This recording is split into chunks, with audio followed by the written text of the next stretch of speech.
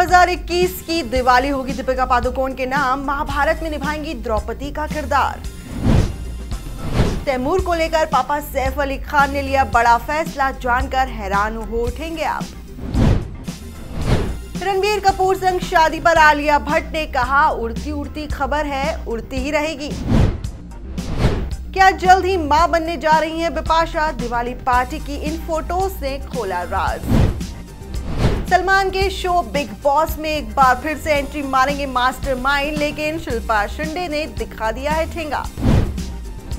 Hello hi, कैसे आप सब लोग? मैं सोनम, आज फिर आई हूँ बीटाउन के कुछ गॉसिप्स के साथ। तो किस बात का है? इंतज़ार करते हैं शुरुआत। दिवाली शुरू होने के साथ ही एक्ट्रेस दीपिका पादुकोण को लेकर भी बड़ी खबर कंफर्म हो चुकी है। खबर ये है कि दीपिका पादुकोण बहुत ही जल्दी द्रौपदी का किरदार निभाते हुए नज़र आएँगी। जी हाँ film trade analyst Taran Adarsh ने ट्विटर के ज़रिए ये बात कंफर्म कर दी है। फ़िल्म का नाम महाभारत है और ये फ़िल्म 2021 की दिवाली पर रिलीज़ होने वाली है। वेल सैफ अली खान और करीना कपूर खान के बेटे तैमूर अली खान सबकी आँखों के तारे हैं, लेकिन अब फैंस का दिल उस वक्त टूट गया था जब मीडिया में खबरें आने लगी थी कि करीना कपूर खान और सैफ अली खान तैमूर को जल्द ही पढ़ने के लिए लंदन बोर्डिंग स्कूल भेजने वाले हैं। लेकिन पापा सैफ अली खान से अब जब पूछा गया तो उन्होंने कह दिया है कि वो कम से कम टेंथ क्लास तक तो नहीं जाने वाले। हम उसे अपने पास ही रखना चाहते हैं और वो वैसे ही स्कूल जाएगा, जैसे कि सारा अली खान गई थी। वेल तो तैमूर के फैंस के लिए ये एक अच्छी खबर है। एयरपोर्ट पर मीडिया ने आलिया भट्ट से दोबारा से पूछा कि क्या वो रणबीर कपूर के साथ शादी करने जा रही हैं? इस पर आलिया ने कोई जवाब नहीं दिया और ब्लश करते हुए हंस के चली गई।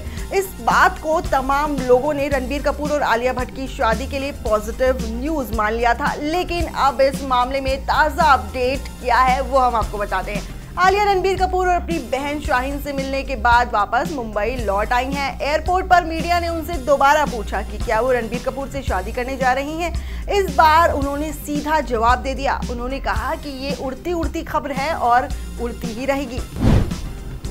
वेल शादी के बाद बिपाशा बसु तो जैसे बॉलीवुड से गायब ही हो गई थी। अब बिपाशा बस इंडस्ट्री की होने वाली पार्टीज़ में ही नज़र आती हैं। बीते दिन लगातार अफवाहों का बाज़ार गर्म था कि बॉलीवुड की ये हसीना जल्दी माँ बनने वाली हैं।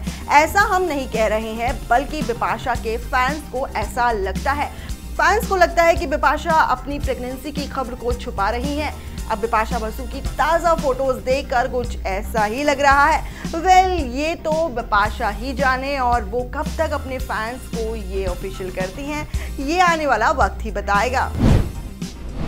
वेल सलमान खान के शो बिग बॉस तेरह में बिग बॉस ग्यारह के मास्टरमाइंड विकास गुप्ता जल्द ही एंट्री मारने वाले हैं। इस सीज़न में भी वो नज़र आएँगे। हालाँकि वो शो में कॉम्पिटिटर के तौर पर नहीं, बल्कि एक दिन के लिए गेस्ट के तौर पर आएँगे। विकास गुप्ता की एंट्री कराकर मेकर्स बाकी कंटेस्टेंट्स को उनका असली चेहरा सबके सामने दिखाना चाहते हैं। वेल जल्द ही बिग बॉस तेरह में विकास गुप्ता की एंट्री होने वाली है और बाकी सबको इस चीज़ का खामियाजा उठाना पड़ सकता है।